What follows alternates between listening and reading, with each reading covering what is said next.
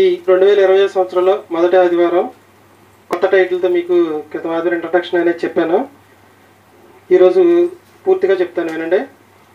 Title ఏంటంటే చెప్పుకున్నదే సత్య సంబంధులు ఎరుగని సత్యాలు. హాట్ టాపిక్ అనుకోండి. సత్య సంబంధులు ఎరుగని సత్యాలు. పరలోకం వెళ్ళాలంటే ఇలాగే హండ్రెడ్ పర్సెంట్ గ్యారంటీలో పరిచయ భాగం చెప్పాను మీకు. మనోదుఖమైన కారణాలు నివారణోపాయాల్లో పరిచయ భాగం చెప్పాను పరిచయ భాగం ఏంటంటే చెత్తకు చితికి తేడా ఏమిటి? దాన్ని కూడా ఒకటి చెప్పు గుర్తులేదు. ఈరోజు మనం చెప్పుకునే పరిచయ భాగం అండి సత్య సంబంధులు ఎరుగని సత్యాల్లో పరిచయ భాగం.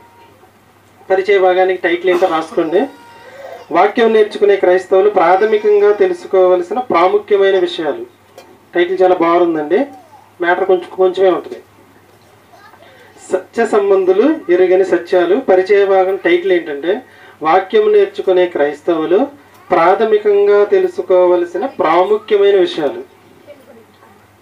ఏంటంటే వాక్యం వినేవాళ్ళ సంఖ్య చెప్పట్లే నేను. వాక్యం నేర్చుకునే క్రైస్తవులు ప్రాథమికంగా తెలుసుకోవలసిన ప్రాముఖ్యమైన విషయాలు. వినేవాళ్ళు కాదండి మనం చెప్పుకునేది ఎవరి గురించి అంటే నేర్చుకునే వాళ్ళ గురించి. చెప్తున్నాను కొంచెం శ్రద్ధగా వినండి.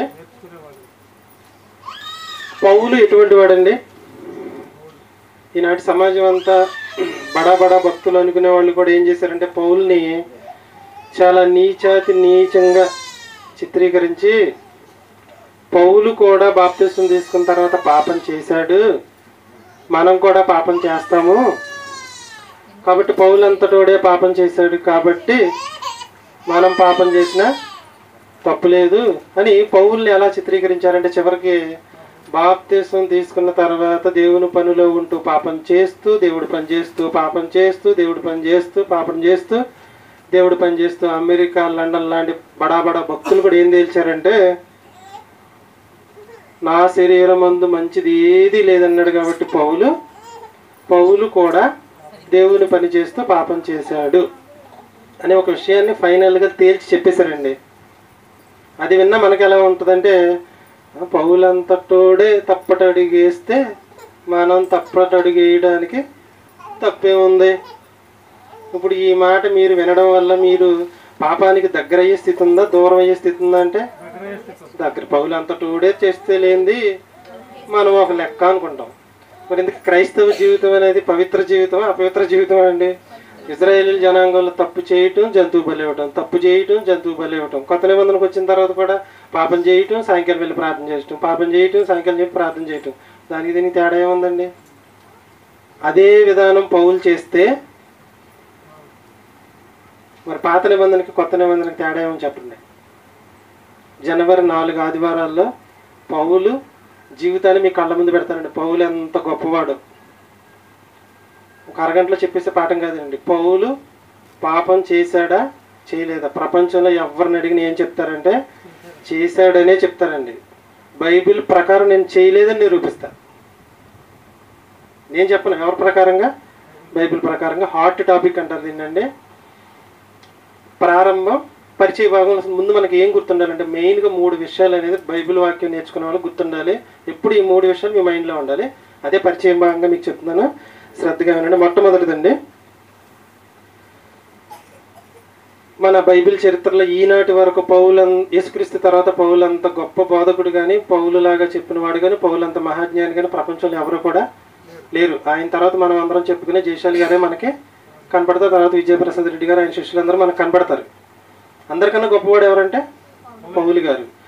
ఇక్కడికి ఇప్పుడు మనం బతుకున్న కాలంలో పౌలు గారు బతుకుండి ఇక్కడికి వచ్చి పౌలు గారు మెసేజ్ చెప్తున్నాడు అనుకుందాం. ఇప్పుడు నేనే పౌలు అనుకోండి. మెసేజ్ చెప్తున్నా. కూర్చున్న వాళ్ళందరూ ఏమనుకోవాలంటే ఇప్పుడున్న సమాజం ప్రకారం పౌలు గారు చెప్తున్నాడు కాబట్టి హండ్రెడ్కి హండ్రెడ్ కరెక్ట్ అని అనుకుంటారు ఇప్పుడున్న వాళ్ళు.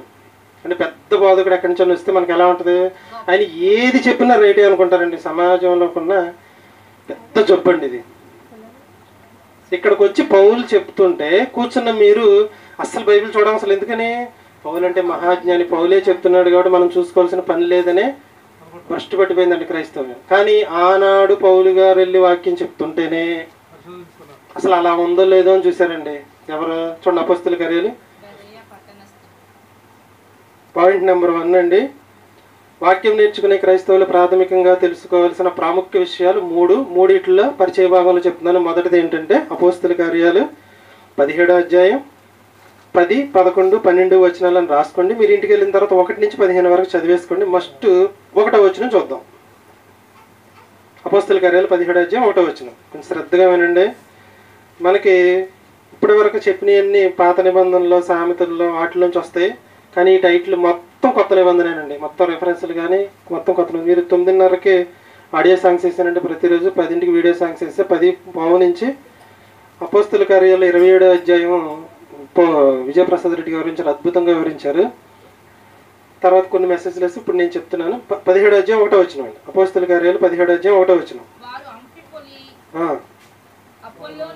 అపోలోనియా పట్టణముల మీదుగా వెళ్ళి తెస్సలోనికకు వచ్చిరి.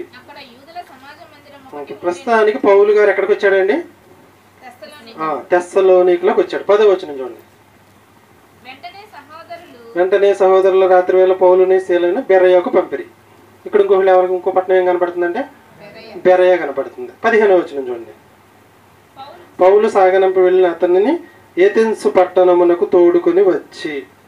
ఈ పదిహేడో అధ్యాయం అండి మూడు పట్టణాలు చూపిస్తుంది మనకి. మొదటిది పౌలు గారు వెళ్ళిన తెస్సలోనిక రెండోది బెరయ మూడోది ఏథెన్స్. ఈ మూడు పట్టణాల్లో మూడు రకాల మనుషులు ఉన్నారు. సరే చూద్దాం. పదో వచ్చిన చూడండి మీకు అర్థమైంది వెంటనే సహోదరుల రాత్రి వేళ పౌలియశీలను బెరయకు పంపిరి. వారు వచ్చి యూదుల సమాజ మందిరంలో ప్రవేశించిరి. వీరు తెస్సలోనికలో ఉన్న వారి కంటే అన్నాడు. పైన మొదట ఎవరి దగ్గరికి వెళ్ళాడు? తెస్సలోనికల దగ్గరికి వెళ్ళాడు. ఇక్కడికి వచ్చిన తర్వాత బెరయ వాళ్ళ దగ్గరికి వచ్చి ఏమన్నాడు? వీరు తెస్సలోనికలో ఉన్న వారి కంటే గనులు. ఎందుకు గనులు అన్నాడు? కిందకు చూడండి మీకు అర్థమైంది ఆసక్తితో వాక్యమును అంగీకరించి పౌలును శీలయును చెప్పిన సంగతులు అలాగున్నవో లేవో అని ప్రతి దినము లేఖనములను పరిశోధించుచు వచ్చారు. అంటే పౌలు గారు చెప్తే చూసుకోవాలా? ఇది వాక్యం నేర్చుకునే క్రైస్తవుడికి ఉండవలసిన ప్రాథమిక లక్షణం ఏంటంటే ఎవరన్నా చెప్పలేమండి. మనకు అనవసరం అండి. బైబిల్లో ఉంటే క్రితం ఆదివారం నేను ఒక పాఠం చెప్పాను మీకు. క్రైస్తవులు వేసుకోవాల్సిన స్క్రీన్ గార్డ్. నేను చెప్పిన పాఠాన్ని నేనే బైబిల్లో చూసుకున్నానండి ఈ వారం. ఎలా చూసుకున్నాను? నేను ఈ పాఠం చెప్పాను కదా మరి ఇది వాక్యంలో ఉందా లేదా? వాక్యంలో ఉన్నదే చెప్పాను. అయినా నా పాఠాన్ని నేనే వాక్యాన్ని తీసి చూసుకుంటే ఏం తేలిందంటే యెహోవా గ్రంథాన్ని పరిశీలించి చదవమని దేవుడే చెప్పాడు. పాత నిబంధనలో ఒక రాజుగారికి ఉండవలసిన నియమం ఏంటి? చేతిలో తనకు ఒక ప్రతి ఉండాలి కుడి కానీ ఎడమకు కానీ తొలగిపోకుండానట్లు బ్రతుకు దినములన్నిటను చదువు చుండవలెను అది పౌలు శీలయ్య చెప్పినప్పుడు అలాగున్నవో లేవో అని ఏం చేశారు? బెరయపట్నంలో ఏం చేశారండి? లేఖనాలను పరిశోధించారు. అంటే పౌలు గారు చెప్పాడు కాబట్టి హండ్రెడ్ పర్సెంట్ కరెక్ట్. అనుకోలే. అనుకుంటమే రోగం అండి అసలు ఎవరన్నా చెప్పనివ్వండి మనకు అనవసరం ఎంత పెద్ద బాధకుడే అని చెప్పనివ్వండి పౌలు కన్నా గొప్పళ్ళు ఎవరు లేరు కదా. పౌలు గారు చెప్తుంటే ఏం చేశారండి? అలాగున్నవా లేవా? కానీ ఈనాటి సమాజం ఏంటంటే ఎవరు చెప్పినా నమ్మిడు. ఎందుకంటే వాళ్ళ చేతుల్లో బైబిల్ ఉన్నప్పటికీ చదవమని వీళ్ళు చెప్పరు. చదివే ఇంట్రెస్ట్ వాళ్ళకు కూడా ఉండదు. ఏమండి మీరు చదివితే నాకన్నా గొప్ప జ్ఞానులు అయిపోతారండి. అంత జ్ఞానం ఉంది బైబిల్లో. ఎన్నో విషయాలు తెలుస్తాయి. ఇప్పుడు మన కావ్యం ఉంది. చదువుతుంది. కావ్య మైండ్లో ఏముండాలంటే పాప వయసు రెండు ఎన్నేళ్ళమ్మా? మూడు సంవత్సరాలు. Three years. ఏడు సంవత్సరాల నుంచి చిన్న చిన్న పదాలు అవి నేర్చుకోగలిగింది పిల్ల. ఆ పిల్లకి నాలుగేళ్ళ తర్వాత నేర్పించడానికి ఎలా నేను నా పిల్లకి బైబిల్ నేర్పించాలో ఆ బైబిల్ చదువుతూ ఆవిడ నోట్స్ తయారు చేసుకోవచ్చండి. అదే రేపొద్దున్న ప్రపంచ ప్రజలకు మనం అందించవచ్చు మన నాగలక్ష్మి ఉంది. ఇద్దరు పిల్లలు ఉన్నారు. ఇద్దరు పిల్లలకి మనం ఎక్కడికో వెళ్ళి ఎవరెవరికో చెప్పవలసిన లేదు. ఇంటిలో ఉన్న మన పిల్లలకు నేర్పించుకోగలిగితే అంతకు మించింది ఇంకోటి లేదండి. నేను ఇంకో నాలుగు సంవత్సరాల తర్వాత నా ఇద్దరు పిల్లలకి నేర్పించాలి. నేర్పించాలంటే ఎలా నేర్పించాలి? ఒక మ్యాప్ అనేది తీసుకుని బైబిల్ చదువుతూనే కొన్ని కొన్ని వచనాలు చిన్న చిన్న పాయింట్లు లేదా ఒక లైన్ వన్ వర్డ్ క్వశ్చన్స్ కానీ ఎలా తయారు చేసుకుంటారో అలా తయారు చేసుకోండి. మీరు మీ పిల్లల్ని జ్ఞానవంతులు చేయండి. ఆటోమేటిక్గా మీరు జ్ఞానవంతులు అవుతారు. చర్చిలో కూడా మీరు వాక్యాలు చెప్పడానికి కూడా అవకాశం అనేది ఉంటుందండి. అదేవిధంగా ఇప్పుడు ఎక్కడున్నాం మనం? అపస్తుల కార్యాలు పదిహేడు అధ్యాయం పది పదకొండు పన్నెండులో ఇప్పుడు చెప్పండి. వాక్యం నేర్చుకునే క్రైస్తవుడికి ఉండవలసిన ప్రాథమిక లక్షణం అంటే ఎవరు చెప్పనివ్వండి. అస్సలు గుడ్డిగా నమ్మొద్దు. బైబిల్ మనం చూసుకోవాలి. ఖచ్చితంగా చూసుకుని హండ్రెడ్ పర్సెంట్ ఆయన చెప్పాడండి. ఓకే అనే మైండ్ మాత్రం ఇప్పుడు కూడా ఉండకూడదు. ఇంతకు వేళ్ళనే గనులు ఎందుకు అన్నాడండి? మీరు ఇంటికి వెళ్ళిన తర్వాత ఒకటి నుంచి పదిహేను అధ్యాయం వరకు చదివితే మీకు ఇంకా బాగా అర్థమైతే నేను సంక్షిప్తంగా చెప్పుకుంటూ వెళ్ళిపోతున్నాను. వీళ్ళని ఏమన్నాడండి? గనులు అన్నాడు. ఏంట్రా పౌలు గారు చెప్తుంటేనే అలాగున్న వాళ్ళు ఏవో అని చూస్తున్నావు. గణహీనుడా అన్నాడా? గనులు.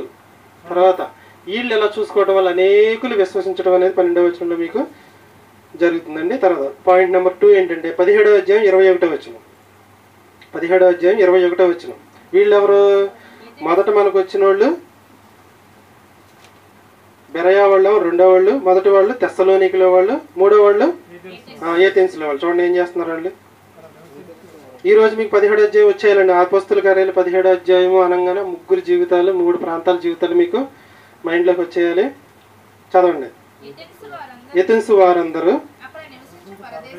అక్కడ నివసించు పరదేశులను.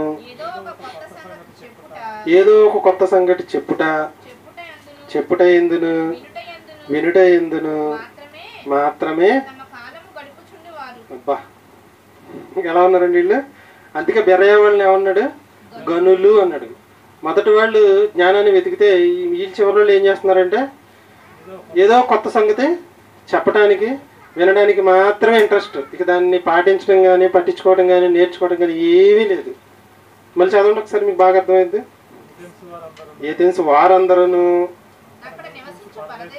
అక్కడ నివసించి పరదేశులను. ఏదో ఒక కొత్త సంగతి చెప్పుట ఎందును వినుట ఎందును మాత్రమే తమ కాలము గడుపుచుండువారు.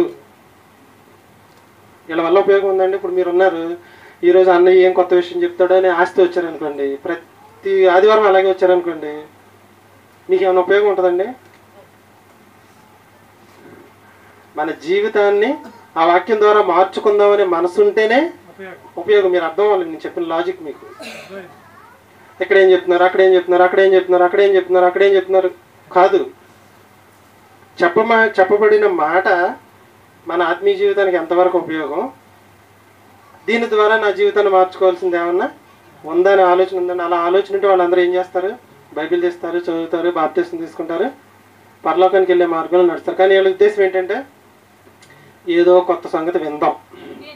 వినడానికి మాత్రమే అలవాటు పడ్డారు తప్పితే చదవడానికి కానీ పరిశోధించడానికి కానీ చెప్పిన వాక్యాన్ని నేర్చుకుని మన జీవితంలో ఆచరించుకుందామని కూడా వీళ్ళకి లేదు. మూడు మూడు మూడు ప్రాంతాల వాళ్ళు ఇక్కడ కనపడ్డారు మనకి. బెరయా పట్టణస్తుల్లాగా మన ఒంగూరు క్రీస్తు సంఘం అనేది ఎప్పటికీ ఉండాలి. నేను ప్రారంభం నుంచి ఇవి- ఈ వచ్చిన ఈ పాఠం ఫస్ట్ నుంచి చెప్తున్నా మీకు. ఫస్ట్ ఫస్ట్ మనం చెప్పిన పాఠాలు ఇదే బైబిల్ అనగానేమి దాన్ని ఎలా చదవాలి? బెరయా పట్టణస్తుల వల్ల మనం అందరం ఎప్పటికీ ఉండాలి. అంటే తెస్తలోనికి లాగా ఉండకూడదు ఇక్కడ ఏ తెన్సుల వారిలాగా కూడా ఉండకూడదు. ఎలా ఉండాలండి? వాక్యం నేర్చుకునే క్రైస్తవులు ఉండవలసిన ప్రాథమిక లక్షణం ఎవరన్నా చెప్పను నాకు అనవసరం. నాకు వాక్యమే మెయిన్. వాక్యంలో ఉంటేనే నేను నమ్ముతాను. Point number two. ఎప్పుడు ఏదో కొత్త సంగతి వినాలనే మనసు తీసేయండి. చెప్పబడిన మాటలు నేను ఎంతవరకు ఈరోజు నేర్చుకున్నానో నాకు తెలియని విషయం ఎంత అందుకే మీకు బుక్ ఒకటి ఇచ్చాను నేను. క్రితం ఆదివారం రాసుకోమన్నా.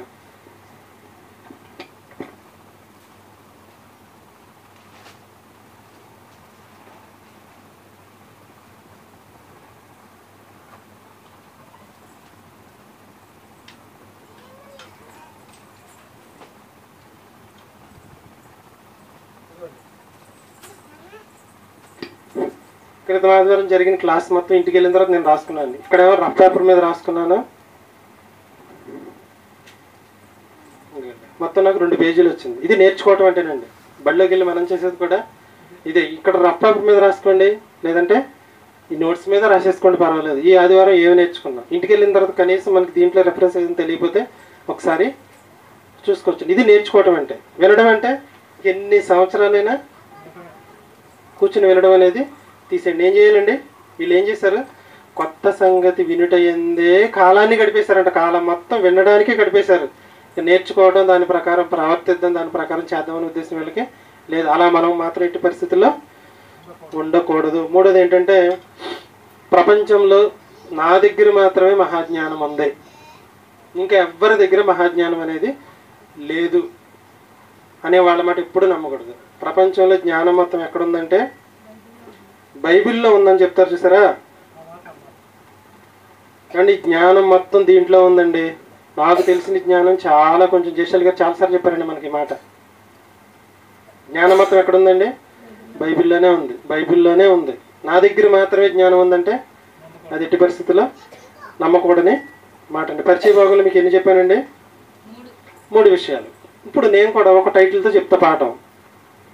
కోటేశ్వరరావు చెప్తున్నాడు కాబట్టి హండ్రెడ్ హండ్రెడ్ పర్సెంట్ ఇది గ్యారంటీ అనే మైండ్లోంచి తీసేయండి. మీకు కొంత పరి బైబిల్ పరిజ్ఞానం ఉంది. పౌలు ఏమన్నాడు?